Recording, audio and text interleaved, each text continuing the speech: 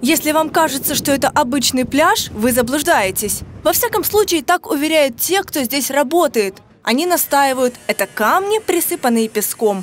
Это не пляж, здесь нет пляжа. Там и написано в 1966 году. Управление пляжами города Одессы. Закрыть использование пляжа в районе дача Ковалевска 146 дробь 1. По словам Вячеслава Боярского, в этом здании находится лаборатория по проверке качества воды. Отреставрировали строение сами ученые, а чтобы работать лучше, построили бассейн и мангал. А если это лаборатория, вы можете нам показать? Не надо вам туда ходить. Здание претерпело удивительные метаморфозы. Еще до приезда Михаила Саакашвили в нем располагался санаторий, после превратилось в лабораторию.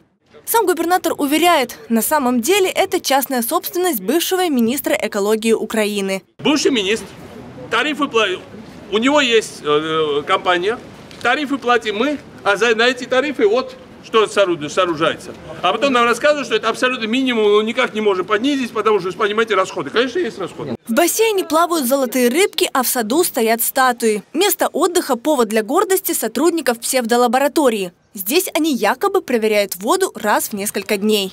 Здесь вот глубоководный выпуск, специально вон лежит лодка. Мы берем пробы воды, и здесь анализируется, как она, степень очистки воды, влияет ли оно на экологию моря и так далее крепко привязана. Это лодка для того, чтобы ученые отправились в море брать пробы воды. Там есть специальный спуск, чтобы спускать ее на воду. А это машина для того, чтобы поднимать ее обратно на берег. Вот тот причал предназначен специально, чтобы швартовали одну крупную яхту, но никак не такую маленькую лодочку.